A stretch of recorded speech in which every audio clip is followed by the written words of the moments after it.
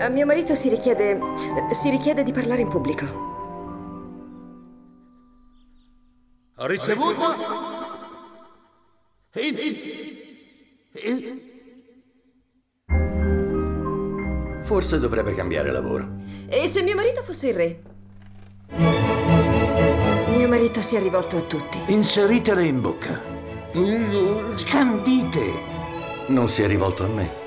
Posso curare vostro marito, ma mi occorre fiducia totale. Il vostro primo ricordo. Non sono qui per parlare di faccende personali. Perché siete qui allora? Perché balbetta la nazione! Conoscete barzellette? Il tempismo non è il mio forte. I vostri metodi sono non ortodossi e controversi. E si solleva Sua Altezza Reale? In effetti è divertente. Sì. Non temete. Siete singolare. Lo ritengo un complimento. La guerra con la Germania si farà e ci occorrerà un re dietro il quale schierarci. Ha paura della sua ombra. La nazione crede che quando parlo io parlo per lei, ma non so parlare. Potete farcela, non subiate la paura. Sarò il pazzo Re Giorgio il balbuziente.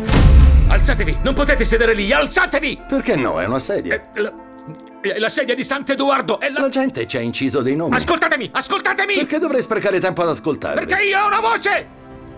Sì, è così. La prova più grande deve ancora venire.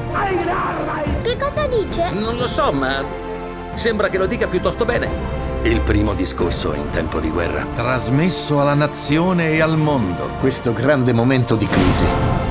Comunque vada, non so come ringraziarvi. Bertie, siete un uomo coraggioso. Voglio essere una bravissima regina per un grandissimo re. Dimenticate il resto e ditelo solo a me.